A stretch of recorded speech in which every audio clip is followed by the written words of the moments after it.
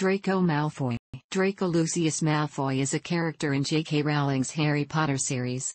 He is a student in Harry Potter's year belonging in the Slytherin house. He is frequently accompanied by his two cronies, Vincent Crabbe and Gregory Goyle, who act as henchmen.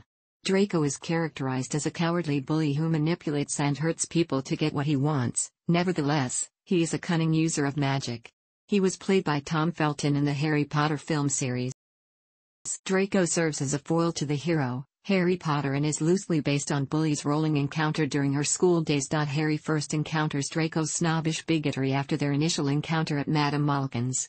Rowling uses the Malfoys to introduce themes of intolerance and bigotry into oh, a setting where people are often judged solely by their blood lineage rather than their good character or accomplishments. Draco, adhering to his family's beliefs, thinks that muggle-born witches and wizards, which he and other characters derogatorily describe by the epithet mudbloods, should be denied a magical education. Harry's first impression that the wizarding community is a magical wonderland is instantly shattered. Says Rowling, Harry, found out that many people in power in the wizarding world are just as corrupt and nasty as they are in our world. Malfoy was originally named Draco Spungen in the earliest drafts of Philosopher's Stone. Spungen also appeared on her pre-canon class list, but it was crossed out and replaced with the surname Spinks, while Malfoy was later added after the completion of the list. Philip Nel believes that Malfoy is derived from the French phrase malfoi, meaning bad faith. In an article published in 2002, Nilsen and Nilsen argue that Draco has connotations with draconian, and that his name starts with mal, a French prefix for bad or evil. Many of Draco's relatives on his mother's side of the family are named for stars or constellations. Another constellation is Draco. Draco Malfoy eventually named his son for yet another constellation, Scorpius. Draco Malfoy makes his first appearance in the series when he and Harry meet while being fitted for school robes at Madam Malkin's, a clothing shop in Diagon Alley. Not realizing that the boy in the store is Harry Potter, a child whose parents were murdered when he was one year old by the powerful dark wizard Lord Voldemort, Draco engages him in polite conversation. Harry, however, is alienated by the arrogance of Draco, who asks whether the orphan's parents are our kind. Draco then proclaims that the other sort should not be allowed at Hogwarts School of Witchcraft and Wizardry, because they've never been brought up to know our ways. The two boys part without introductions, but meet again on the Hogwarts Express. After Draco ridicules Ron Weasley's family, Harry rejects his offer of friendship, demonstrated by a handshake, and their mutual antagonism is born. According to Rowling, Malfoy originally makes an effort to be Harry's friend because it will be cool to turn up at the school being Harry Potter's friend, because Harry is so famous. However, Harry did not want Malfoy as a friend because he has been so rude about Rubeus Hagrid and about Ron, who Harry likes so much. At the first year's sorting ceremony, the sorting hat places him into Slytherin, the house that has developed all of the bad wizards, where he becomes an instant favorite of Potion's teacher and Slytherin head of house, Severus Snape, so-called follower of Lord Voldemort. Draco attempts to get Harry expelled by tricking him into participating in a Midnight Wizards duel after secretly informing Argus Filch in advance, but the plan fails when Harry evades Filch and safely makes it back to his dormitory.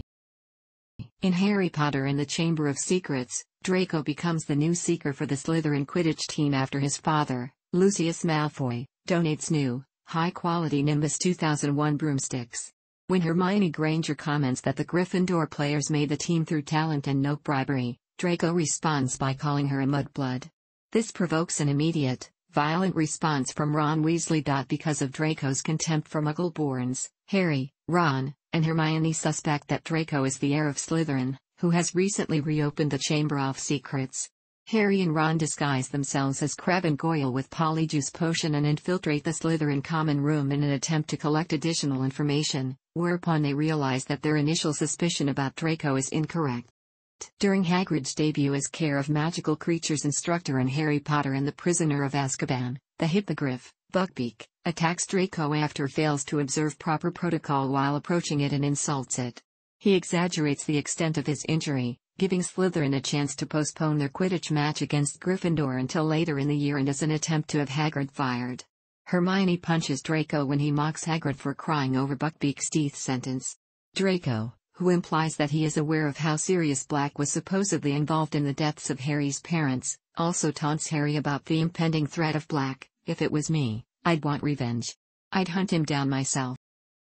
After Harry is unexpectedly chosen as a Triwizard Tournament champion in Harry Potter and the Goblet of Fire, Draco shows off a support Cedric Diggory badge to Harry, then presses it to replace that phrase with Potter stinks. Draco also gives malicious and often false information about Harry and Hagrid to muckraking Daily Prophet journalist Rita Skeeter.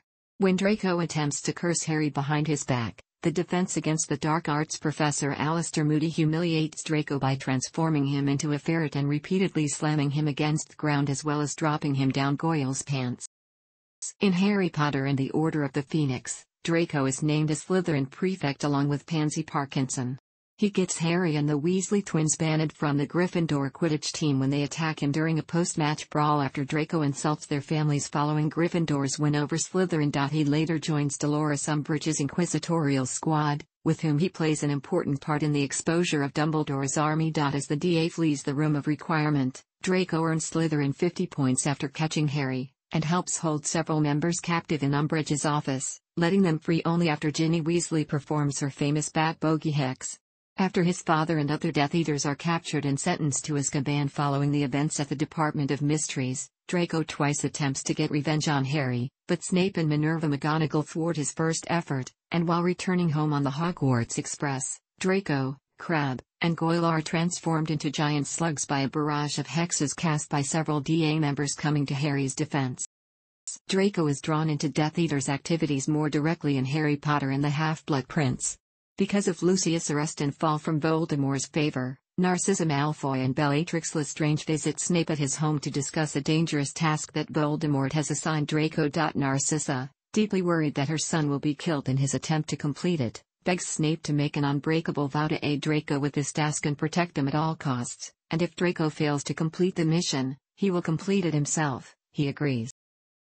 Under the invisibility cloak, Harry, Ron, and Hermione follow Draco to Borgin and Burke's, a dark magic shop in Knockturn Alley. Draco threatens Mr. Borgin about repairing one item and keeping another safe for him.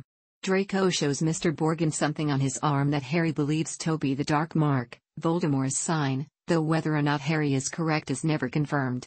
On the Hogwarts Express, Harry invisibly spies on Draco and overhears him discussing Voldemort's task with several other Slytherins. Draco knows Harry is present and, once alone in the compartment, immobilizes him and breaks his nose causing Harry to hate Draco even more. Harry is left stranded on the train until Nymphadora Tonks rescues him. Harry spends much of the year trailing Draco's whereabouts on his Marauder's map, but loses track of him once Draco enters the room of requirement. When Katie Bell is almost killed in Hogsmeade after handling a cursed necklace and Ron nearly dies by drinking poison mead, Harry suspects Draco is behind both attacks. In this book, Draco is, for the first time since being introduced in the series, portrayed as having considerable initiative, ingenuity, and perseverance. However, unlike Harry, who always relies on his friends' support and help, Draco mostly works alone in the room of requirement, refusing to confide in or involve his own circle of friends, whom he treats more as underlings. This, and the realization of what he is ultimately expected to do, nearly drives him to a nervous breakdown. When Harry walks in on Malfoy crying and Moaning Myrtle's bathroom, Draco attempts to cast the Cruciatus Curse. Harry is faster to the draw with an obscure Sectumsempra spell that he learned from the mysterious Half-Blood Prince's book. The spell cuts deep gashes into Malfoy's face and chest, resulting in severe blood loss. Snape, alerted by Myrtle's screams, swiftly arrives and heals Draco's cuts, then takes him to the hospital wing.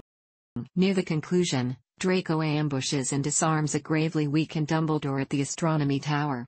After Draco disarms him, Dumbledore calmly reasons with the frightened teenager and persuades him to reveal how he was, according to Voldemort's orders, to kill the headmaster through the cursed necklace and the poison mead. Malfoy reveals that he mended the broken vanishing cabinet in the room of requirement to act as a portal enabling Death Eaters to enter Hogwarts. Draco is hesitant to kill Dumbledore and he eventually lowers his wand. Snape arrives, dispatches Dumbledore himself and then flees Hogwarts with Draco in tow.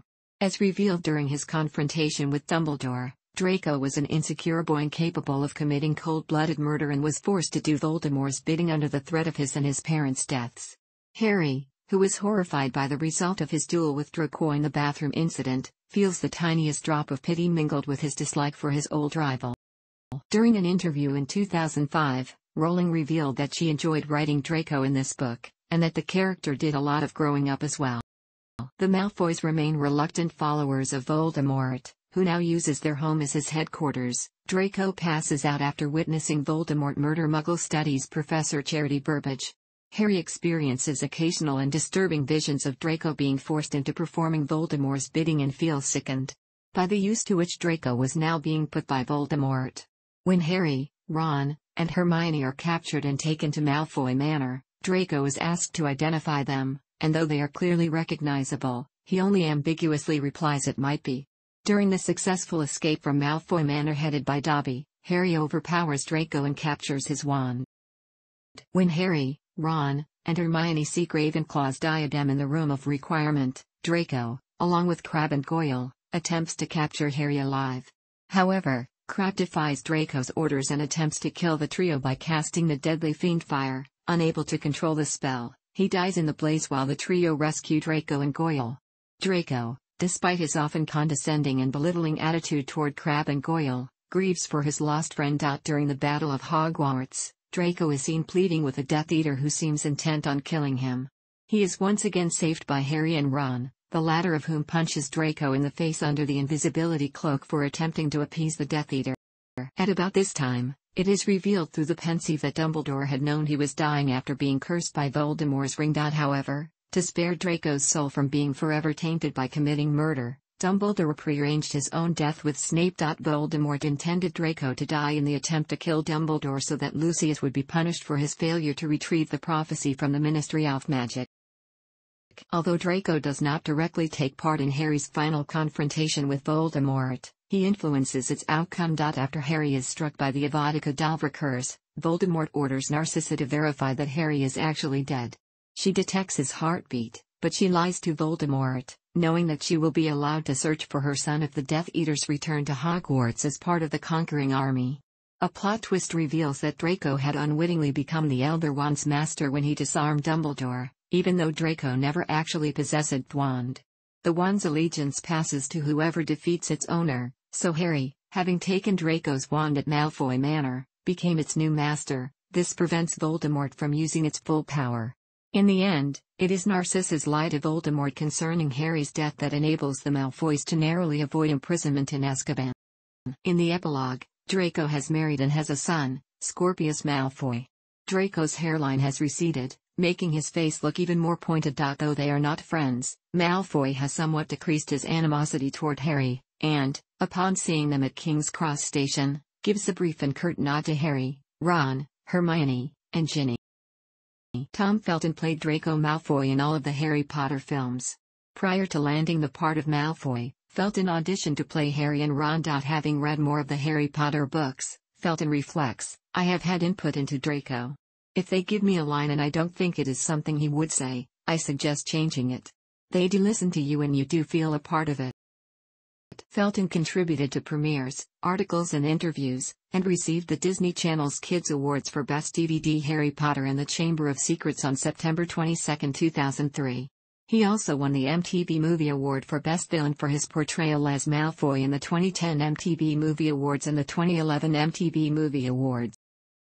Malfoy grew into one of the series' most popular characters due to Felton's performances and Felton quickly became synonymous with the character to many female fans, much to Rowling's dismay. I'm trying to clearly distinguish between Tom Felton, who is a good-looking young boy, and Draco, who, whatever he looks like, is not a nice man. It's a romantic, but unhealthy, and unfortunately all too common delusion of girls. It actually worried me a little bit, to see young girls swearing undying devotion to this really imperfect character, I mean, I understand the psychology of it, but it is pretty unhealthy. Rowling has also noted that Malfoy is certainly stylish in the film. In the theater play Harry Potter and the Cursed Child Draco was portrayed by Alex Price and later by James Howard. In the theater play Draco has a style like his father's, such as his long hair. Draco was married to Astoria Greengrass, who had died, and has a son named Scorpius. Draco is described as a tall, slender boy with a pale, pointed face, sleek blonde hair, and ice gray eyes. Draco is the prototypical spoiled, rich brat. He believes that his family's wealth and social position gives him the right to bully those poorer than himself, such as Ron Weasley. He also insults Hermione Granger's muggle-born status by referring to her as a mudblood, a term that, as stated by Hagrid, is one not used in civilized conversations. As Rowling explained in 1999, he's a bigot and he's a bully, and as I say, in the most refined sense, he knows exactly what will hurt people. In a July 2005 interview, Rowling added that Draco, unlike Harry, never feels remorse for his actions. I thought of Draco as someone who is very capable of compartmentalizing his life and his emotions, and always has done. So he's shut down his pity, enabling him to bully effectively. He's shut down compassion, how else would you become a Death Eater? Draco, as well as Dudley Dursley, was indoctrinated with his parents' beliefs. Rowling commented that the moment Draco got what he thought he wanted, to become a Death Eater, and given a mission by Lord Voldemort, as he did in Harry Potter and the Half-Blood Prince, reality finally hit him because his dream was so very different. Rowling also stated that there was a real moral cowardice in Draco, but that he was not wholly bad. During the series, Draco is portrayed as a cunning, competent young wizard. In his second year, he successfully performed the Tarantallegra curse against Harry, a curse used by Death Eater Antonin Dolohov in Book 5, and also successfully cast the Serpensortia spell in the same scene, conjuring a serpent from a swan just as Voldemort would later do against Dumbledore in Book 5, and Snape against McGonagall in the final book. His character further develops in the sixth book, in which he is among very few students able to reach the required level to take advanced potions. Draco also proved capable at occlumency, which he learned from his aunt Bellatrix. Rowling recalled a discussion with her editor about Draco having mastered occlumency while Harry could not. The author said that this is due to Draco being someone very capable of compartmentalizing his life and his emotions. Draco's wand is 10 inches precisely, made of hawthorn with a unicorn hair core, and which Ollivander states is reasonably springy. When asked what shape Draco's Patronus charm is, Rowling replied that, at least by the end of the sixth book, Draco was not capable of producing a Patronus, as it is not magic routinely taught at Hogwarts. The Malfoy family is one of the few remaining pure-blood wizarding clans in the Harry Potter series, and among the wealthiest. The anti-Muggle editor Brutus Malfoy is their ancestor.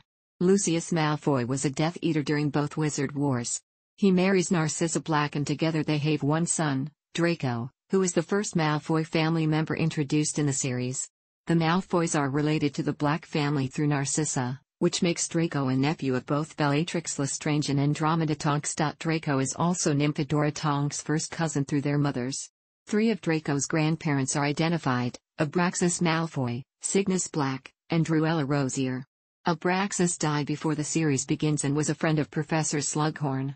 Draco is, therefore, the scion of two old magical families. The Malfoy home, Malfoy Manor, is an elegant mansion located in the western English county of Wiltshire. They were served by Dobby the house elf until the end of Harry Potter and the Chamber of Secrets. The Malfoys are a wealthy gentry family respected in the wizarding world mainly from Lucius' influence with Hogwarts and the Ministry of Magic gained mostly from his monetary donations to the ministry and St. Mungo's Hospital for Magical Maladies and Injuries, as well as from his post on the Hogwarts Board of Governors as chairman. However, he was removed from his position at the conclusion of the second book and imprisoned in Azkaban following the battle at the Department of Mysteries in Harry Potter and the Order of the Phoenix. Despite maintaining a respectable, but false, image before these events, some in the wizarding world were previously aware that the Malfoys were devoted to Voldemort and the dark arts. Draco constantly uses his elite status and his father's name and influence to gain advantages and to threaten others. Lucius is also known to have used bribery and threats. In an interview at the Royal Albert Hall, Rowling noted that boys like to dress up as Malfoy a lot more than Harry, and that people are getting far too fond of Draco, which she finds a little bit worrying. In the same interview, Stephen Fry noted that just as Harry met Malfoy, he found out that there is also racism in the wizarding world and that many characters in power can be as nasty and corrupt as in our world. Fry also noted that while Malfoy, Goyle and Crabbe are almost irredeemably bad, Malfoy, unlike his companions, is reasonably stylish. IGN listed Malfoy as their ninth top Harry Potter character. Wizard rock band Draco and the Malfoys lyrics are inspired by the Harry Potter books but from Draco Malfoy's point of view. As well as Harry and the Potters, the members of Draco and the Malfoys dress themselves as Hogwarts students, in this case in Slytherin themed costumes. The band is one of about 750 bands of young musicians playing music inspired by the Harry Potter series. Draco is parodied as Yerko Phoenix in the series Wizards of Waverly Place, during the episodes Wizard School Part 1 and Wizard School Part 2, in which Alex and Justin Russo go to a wizarding school named WizTech, where everyone wears yellow and black robes, and glasses reminiscent of Harry Potter. Draco also appears as Sacco in the Harry Bladder sketches and all that, in which Harry Bladder and other students often encounter Sacco's mischief making. In the stage production Harry Potter and the Obnoxious Voice, Malfoy is seen interacting with Hagrid and a Dementor. Draco was also parodied in a Big Bite sketch, where he was known as Mailboy. In Neil Cicierega's Potter Puppet Pals, Draco stars in the episode Draco Puppet. He is different from all the other characters, simplistically made out of paper and is a smaller puppet, held and voiced by the Harry puppet.